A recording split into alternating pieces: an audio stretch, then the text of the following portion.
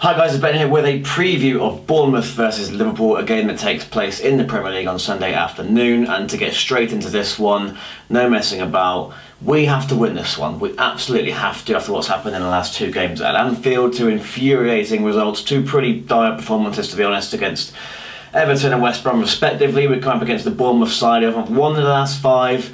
They don't score a lot of goals. They're not a particularly scary side. They're not going to park the bus. They're quite well organised, of course, and they don't actually concede many. I think they've conceded 20, which is the same as us this season in the league.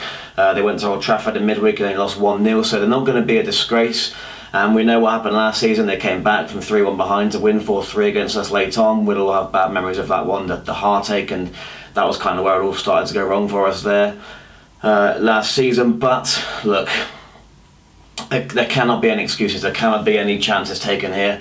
Um, look, I, I, think we might make some changes uh, after rotating slightly again in midweek, uh, but the next game isn't until Friday, so there is time in between this one for rest. So if we wanted to just go with our strongest team here, and then go with the strongest team in Arsenal, and we've got to try and take at least four points from both, ideally six, really, if we want to be keeping pace with those in and around us. Um, teams have dropped points around us this weekend.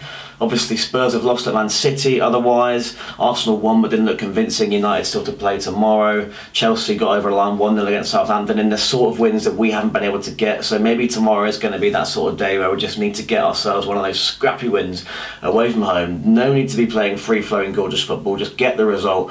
Obviously, I want to see free flowing, gorgeous football. A lot of that will depend on the lineup. I know Emre Can suspended, so Henderson will come back in, which will infuriate a lot of people.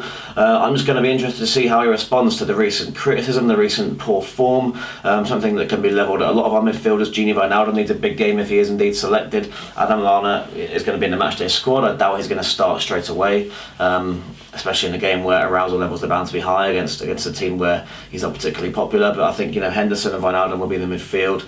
Um, I struggled to see why Mignolet wouldn't come back in goal. We played with Trent and Alexander-Arnold in midweek and Andrew Robertson as the wing backs or the, the full backs, and uh, I think we might change both. Um, uh, we might. I, am more confident that Gomez will come in for Trent. I think we might stick with Robertson for this one, uh, but there's a good chance Milner will replace him. We'll, we'll, have to wait and see. But I think it's going to be Mignolet, Gomez, uh, Klavan, Lovren, and Robertson uh, in defence before Henderson, Wijnaldum, Coutinho.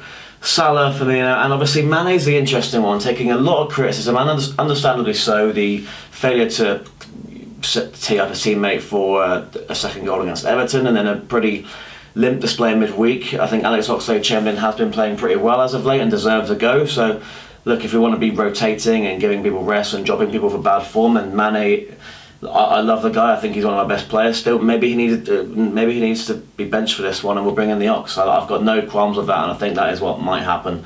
Um, Bournemouth have got no injury concerns, so uh, apart from the, the long term ones, like of Tyrone Mings and uh, the Brad Smith, I think, and there are one or two others, but you know, a, a pretty solid squad to choose from for them. But they're, they're not a side we should be fearing. I know we've had trouble against them in recent years, and they do carry a threat up front with you know, an array of options. You've got Josh King, you've got Jermaine Defoe, you've got Callum Wilson, um, there's pace with the likes of Stanislas as well in and around there, and you know, they, have got some good technical players. I, I do like watching them as a side, but we should be going down there and dominating the game. Um, that hopefully they'll come out and try to play, and we'll be able to play around them and just just just outplay them in every department. That's what we should be aiming to do against the Bournemouth side who haven't won in five games. They haven't been able to beat the likes of Swansea and Palace and other poor sides towards the bottom of the table, so we should have no no problems.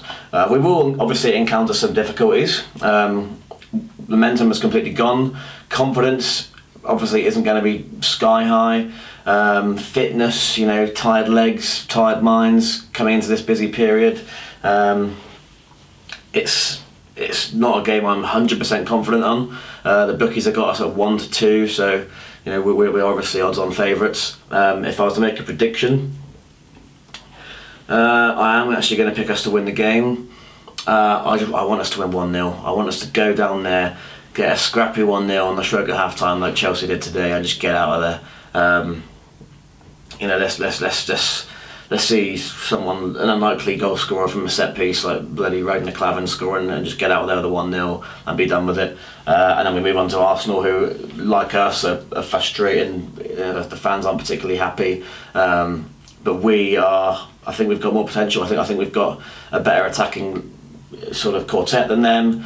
Uh, I think we've got a lot of uh, a lot of areas where, where we are stronger. They, they they seem to be better at putting away the, the lesser teams, but um, I think you know we've we've proven with some of these seven 0 wins we've, we've, we've been getting that we've uh, got as much to offer as they have. But obviously that's another story for another day. Let's get through Bournemouth tomorrow. I'm going for a one 0 win. I'm going to pick Ragnar Klavan to score because I think we need one of those scrappy ones.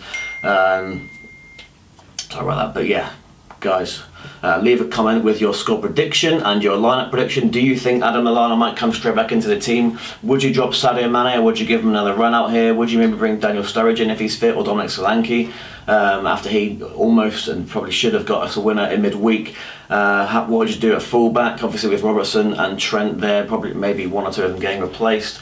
Uh, I'd love to hear your thoughts and your predictions, and of course, subscribe to my channel if you haven't already. Follow my other socials too, as Ben might say on Twitter, Instagram, Snapchat, and Facebook, and I shall see you after the game of the Reds.